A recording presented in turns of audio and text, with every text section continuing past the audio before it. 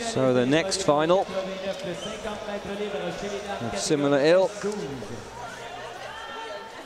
The women's 50 meters freestyle S12.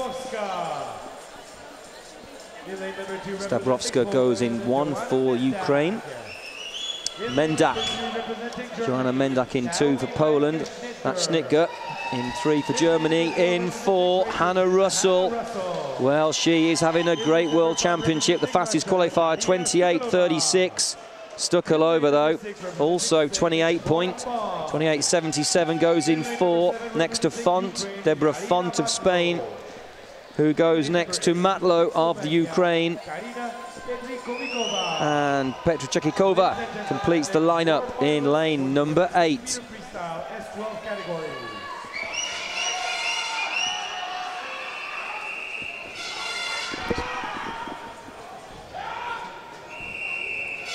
Savchenko, the Sokolova, sorry, the world record holder. Not here. 26.90. Stukalova.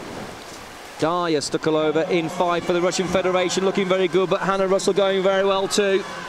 And Hannah Russell now has really got to try and get on terms with Stukalova, who has really been dominant at these championships. And it's the white hat of the Russian Federation swimmer. Looks like it's got the edge on the blue hat of Hannah Russell from Great Britain. Also going well, Deborah Font, but it's going to be Stukalova, I think, was going to get to the wall first in lane five. It is Stukalova, 27.58.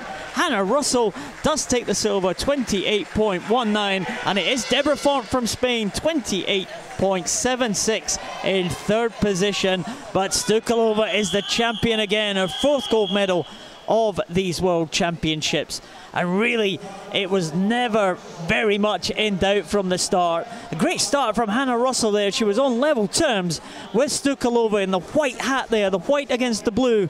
But when they got into their stroke, Stukalova was just the stronger, pulling away, really powerful there. That's the halfway mark. Hannah Russell already dropping back.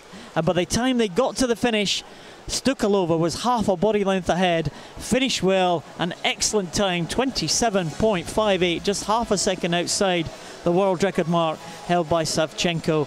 Hannah Russell, good time for Russell, 28.19, faster than she went in the heats this morning.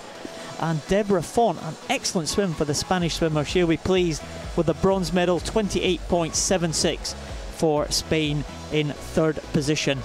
Stukalova, well, it's going to take something special to beat this Russian swimmer at these championships. She has emerged from the shadows of her countrymate Savchenko. She wins the gold. Stukalova wins the gold. Hannah Russell wins.